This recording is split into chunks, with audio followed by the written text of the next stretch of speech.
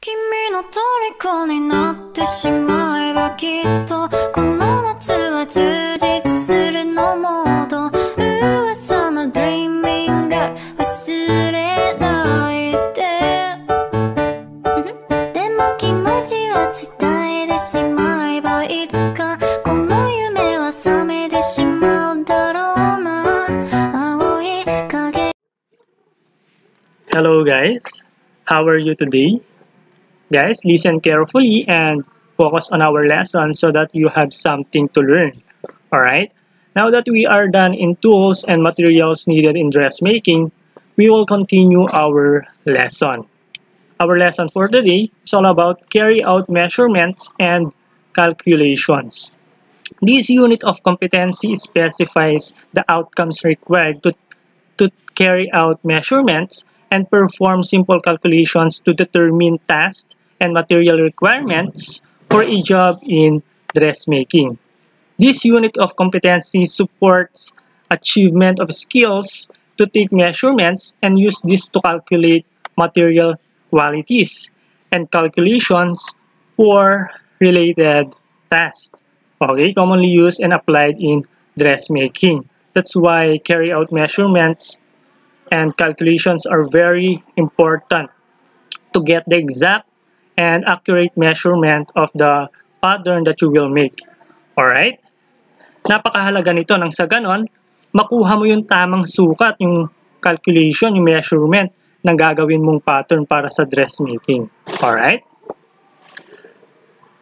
Like what I've said before, taking body measurements is very important in order to produce a well-fitted garment and it must be accurate.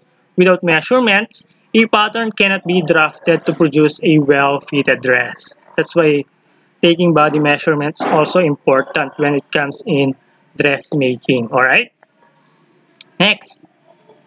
Parts of body to be measured can be taken in horizontal measurement, vertical measurement, and circumferential measurement. The first one is horizontal measurement. Kapag sinabing horizontal, pahiga. Alright? Horizontal measurement is taken from the left of the figure to the right. Alright? Vertical measurement is taken from the top of the body figure to its base. Alright? And last one, circumferential measurement is taken around the body. Alright? Now, I will show you the proper way of taking body measurement. The, first one is bust. How can we measure bust? Bust, it is measured around the chest over the fullest part of the breast. Ayan, kung makikita nyo, no? Next, bust to bust. It is measured from bust point to bust point. It is measured by positioning the tape measure from the highest part of the breast to the other. Alright? Magkikita nyo, no? Upper bust and lower bust. It is measured directly above the bust line. And the lower bust, it is measured directly under the bust line. Alright, that's the difference between upper and lower bust. Next, waist. Ito yung baywang natin. It is measured around the abdomen or the smallest part of the torso or body. Alright, tatandaan nyo yan, no? Next, hips. It is measured from the widest part of the hips or buttocks. Yan yung ah, sa may puwitan natin. Alright? And next one, hip depth. It is measured from the waistline from um, down to the widest part of the hip. Dito, sinusukat natin kung gaano kahaba or kalapad yung pagitan ng waist at ng hip. Alright? Next.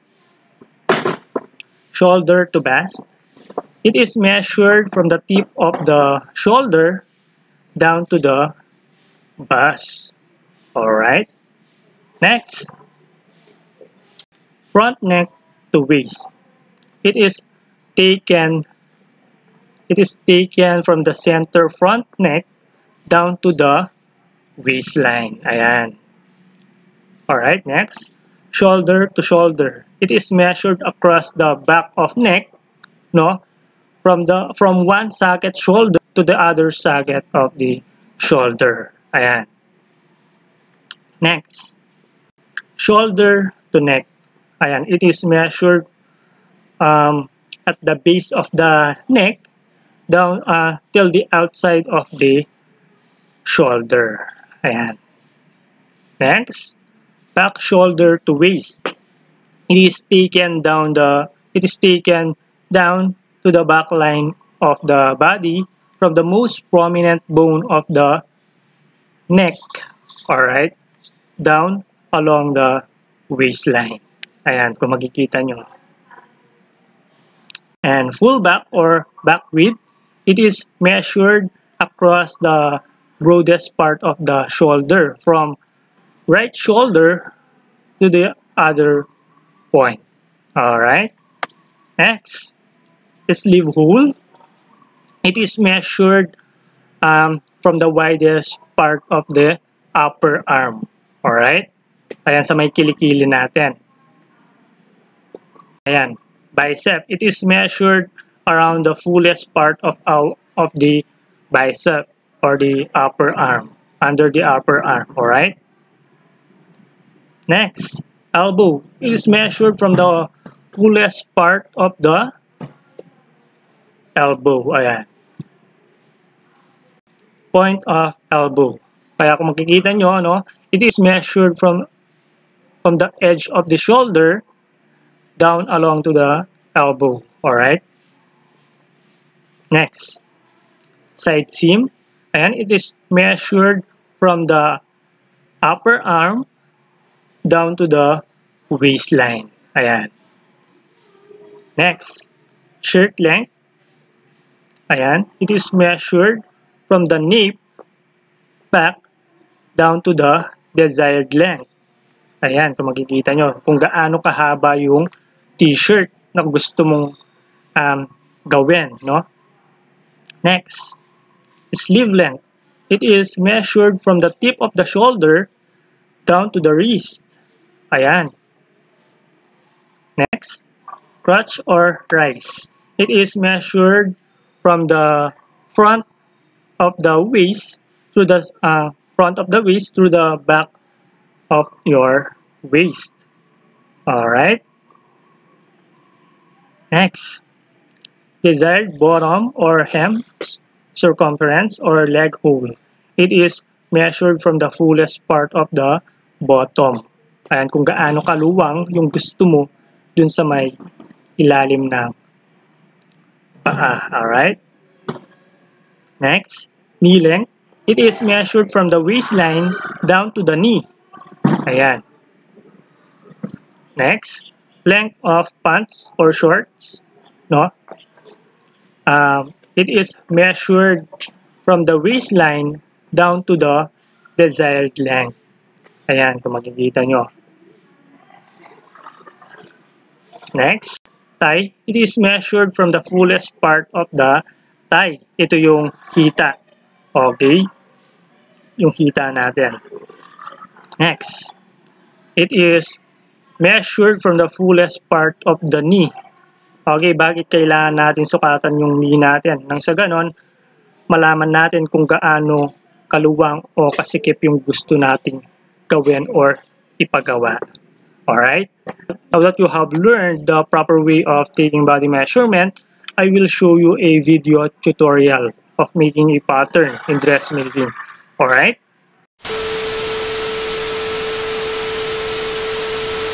Hi guys! In this tutorial, I'll be showing you how to draft an easy basic bodice block. As this is a tutorial for beginners, I have made sure that you will need as little body measurements as possible. Before we get started, it would be great if you could subscribe, that way you will know instantly when new tutorials are released. Also, if you do like this video, then please give it a big thumbs up. For the front bodice, you will need 7 measurements. Each horizontal measurement should be measured around the front half of your body, basically from side seam to side seam. The side length should be measured from under your arms down to your waist. Start by drawing a vertical line equal to your full front length.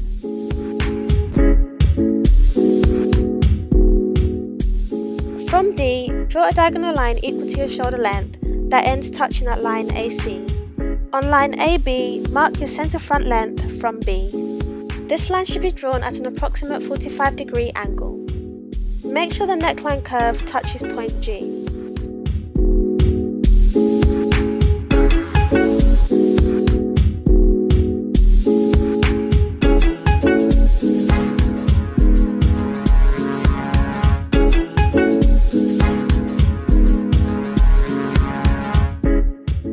Draw a 1 inch line from L to M at a 45 degree angle. Make sure your armhole curve is as smooth as possible. Measure down 2 inches from H.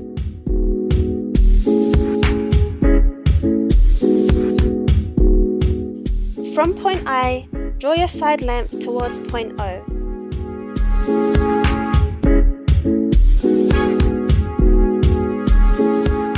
Take half of your front waist measurement, add 1 quarter of an inch, then minus the length of BQ. Make sure your ruler is held at 90 degrees to line QR. And that is it for your front bodice. Similarly for the back, you will need to take 7 measurements. The back bust is measured directly behind where you measured your front bust.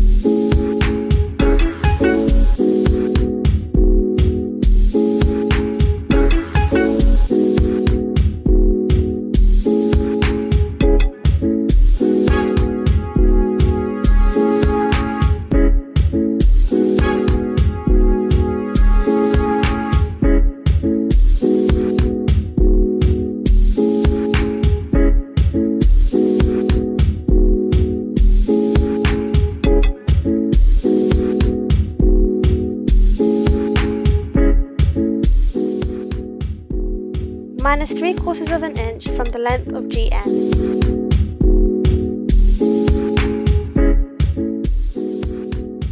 Draw your side length from point H towards point M. If your side length extends past point M, gently curve it upwards. On the shoulder line, mark the midpoint.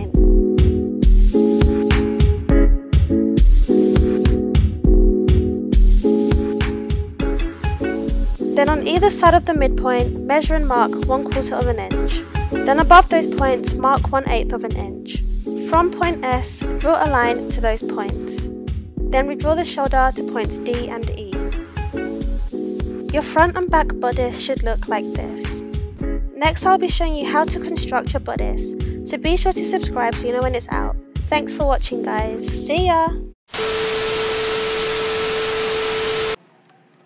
Okay guys, now that you have learned the proper way of taking body measurement and making a pattern in dressmaking when it comes in dressmaking, um, I hope you learned a lot, no? Marami kayong natutunan at maasa ako na may a-apply nyo yung lesson natin na pinag-aralan kapag gumawa na kayo ng sarili nyong pattern sa paggawa ng dress or kung kahit ano pa man yan. Alright? Thank you for listening, guys. And that's all for today. Good day and God bless you all.